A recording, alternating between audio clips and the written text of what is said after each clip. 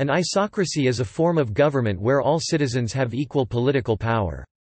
The term derives from Greek isos meaning equal and kratein meaning to have power or to rule.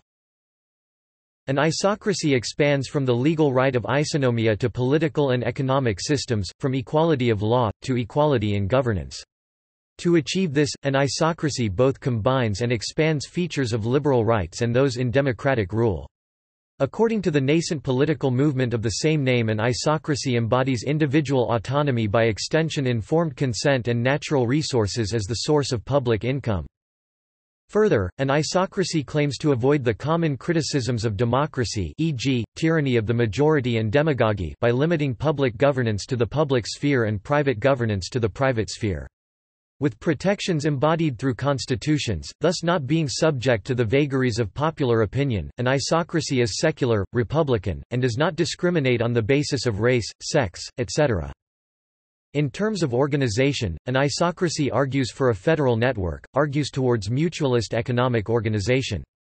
Claiming that the army and police are an arm of class rule, an isocracy also argues in that public peace, defense and emergency services can be managed through inclusive militia. The combination of these features has led isocracy advocates to claim that they represent the best elements of the modern traditions of liberal, socialist and anarchist thought. The first recorded use of the term was by the Reverend Sydney Smith in 1845, where opposition was expressed to the idea of equal rule for all units of society.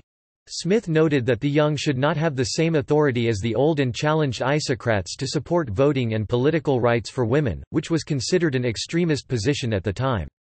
An early recorded use of the word by a political organization was by Grant Allen in the formation of the Independent Labour Party, arguing for equal rights for citizens. The history of the ILP incorporates liberalism, market socialism and cooperative societies. We believe in the strength and the rule of the people, in government of the people, by the people and for the people. Equality is the literal meaning of the word isocracy.